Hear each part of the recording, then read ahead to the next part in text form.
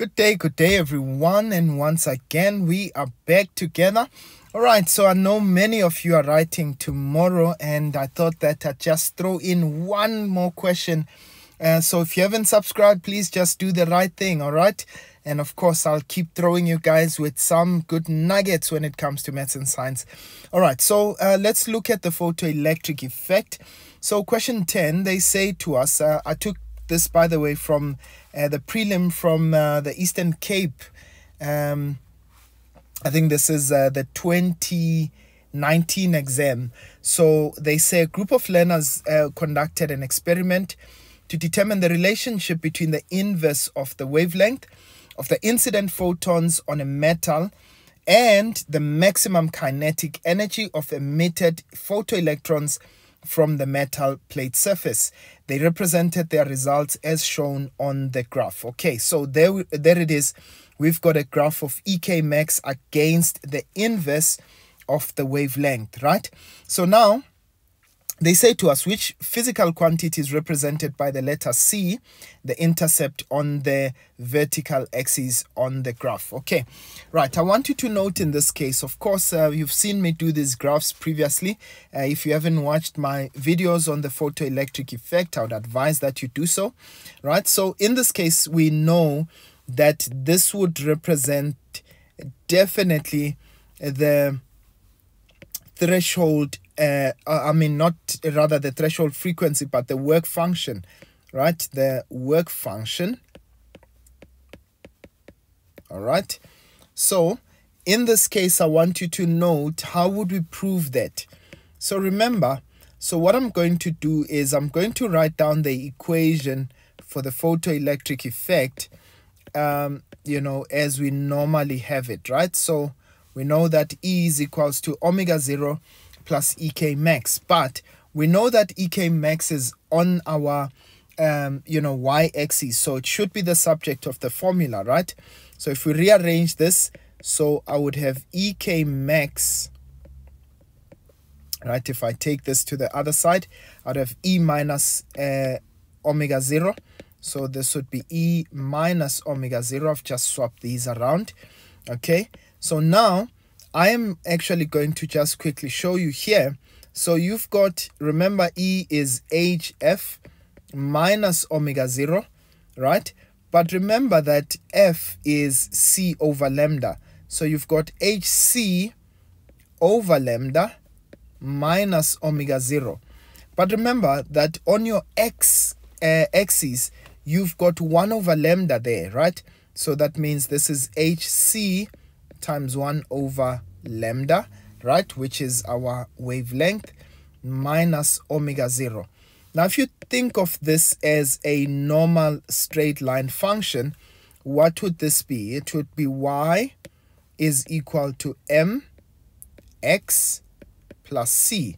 So your m would be represented by those two, right? Your x would be 1 over lambda, and your c would be the work function.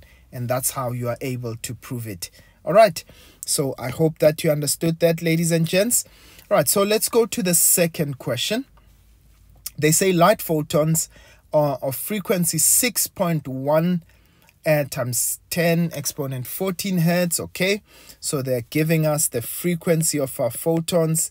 It says 6.16 times 10 exponent 14 hertz so we've got our frequency. And in this case, they are telling us that uh, they are incident on a metal, uh, on a metal plate rather, of uh, photoelectrons that are released with a maximum kinetic energy of 5.6 exponent negative 20. So in this case, we know that EK max, all right, would be 5.6 exponent minus 20 right? And of course, this is in joules. Right, now in this case, what did they want? They wanted us to calculate the magnitude of the physical quantity represented by the letter x on the graph. Now, the letter x on the graph represents, right? In this case, remember this is 1 over uh, the wavelength. But remember, on a normal basis, this would be the threshold frequency over here.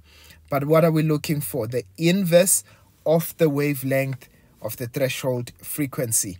So let's use our equation E is equal to omega 0 plus EK max. Okay, so we know that E is equals to HF, right? That's omega 0.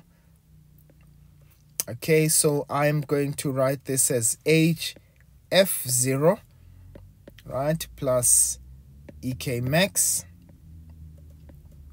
All right, now let's substitute.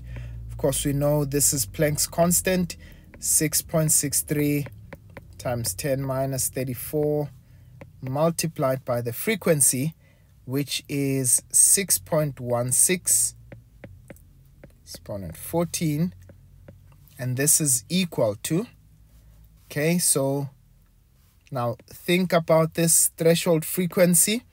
I can write it as c over lambda right? So that would be 6.63 exponent minus 34 multiplied by the speed of sound I mean the speed of light rather okay multiplied by 1 over lambda okay and this is plus ek max. So what is our ek max value? We said that is 5.6 exponent minus 20 all right so we're going to do some gymnastics there mathematically right? And uh, if I take the product there and I will subtract this value and I will divide by this guy right? Okay so let's do that quickly. So we're going to say right. This is 6.63 okay let's start on the left hand side. So 6.63 exponent minus 34 okay please do that uh, for yourself as well. Okay exponent 14 right and we are going to subtract 5.6 exponent minus 20 okay and of course for our final answer we're going to divide by the product. 6.63 exponent negative 34 times 3 exponent 8 okay so I seem to get a value 1 over lambda is equal to 1.77 exponent 6 and this, this is per meter right? So that is the answer that you get okay? Please verify that answer and make sure that you get to the same thing right? Okay so the next question. They say the brightness of the incident light is now increased. What effect will this change have on the following. They say write down increase, decrease, or remain the same, right? So remember, once we increase the brightness, before we answer the questions, right? Once we increase the brightness of the light, what happens? In this case, it means that we are going to emit more electrons per second. So in this case, it means that the current increases because we are emitting the number of electrons that are emitted per second will increase. However, the kinetic energy of the electrons remains the same. Okay, so they say to us, what will happen to the gradient of the graph? Okay, uh, and they say, explain your answer. Now, remember, uh, I showed you that the gradient of the graph in this case shows you uh, the product of Planck's constant as well as the speed of light. That will never change, right? Because remember, this is a constant as well as the speed of light is a constant as well, right? So the gradient would remain the same, okay? Right, and of course, uh, because, um, right, so you can explain that in 10.3.1. Of course, I'm not going to write it down. Uh, I've just explained it right? It would remain the same uh, because both Planck's constant and uh, the speed of light remain the same. Uh, and so, um, yeah, they do not change. Okay. 10.3.2, they say the maximum kinetic energy of the released photoelectrons, right? They say draw a graph of the relationship between um, brightness of incident photons and maximum kinetic energy of photons to explain your answer. Now, please remember that even though you can increase the brightness, all right, so um, let's try and draw that graph. Okay, so that looks a little bit skew. Okay, right, so um, what would happen?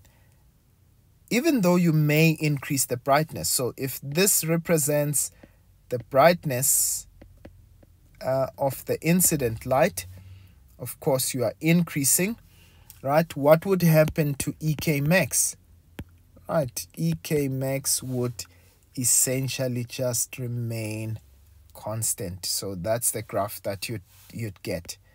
Okay, so EK max is in joules, right? Of course, the brightness, uh, you can uh, use different uh, indices, but uh, you can also use watts for that. Okay, right. So in this case, we're simply saying that it would remain the same. Oh, actually, I should have answered that question. So this is 10.3.2. So it would remain the same, right? And they said show with a graph of course, the greater the brightness, the kinetic energy or the maximum kinetic energy would remain the same in that case. All right. So, ladies and gents, that is how the cookie crumbles, right? Um, that is how you're going to answer that question. And please don't be intimidated by any of the graphs here. This is quite an easy section. And if you haven't looked at it, uh, please just have a look at it. Otherwise, from me for now, I'll see you guys next time. Shop, shop.